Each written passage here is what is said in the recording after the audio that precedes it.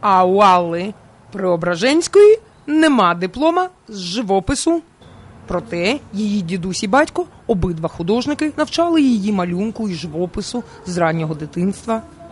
Подорослявши, Алла почала займатися ще чимось успішно, щоб потім все кинути і віддатись живопису. Алла Преображенська стала художником. Більш того, власником невеличкої галереї в місті Біла Церква. В місті Біла Церкви, що біля Києва, є галерея Алла Art Gallery. Поміж іншим, місту 950 років. Виставка в Одесі має назву Прогулянки містом. І не тільки рідним їй містом, але й Одесою, Талліном, Львовом, Парижем та Єрусалімом. Але це її прогулянки.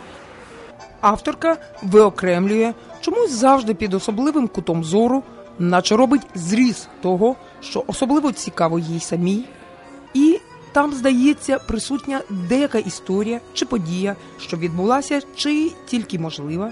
А київський мистецтвознавець Галина Скляренко підкреслює властивий місткині драматизм, що заповнює полотна.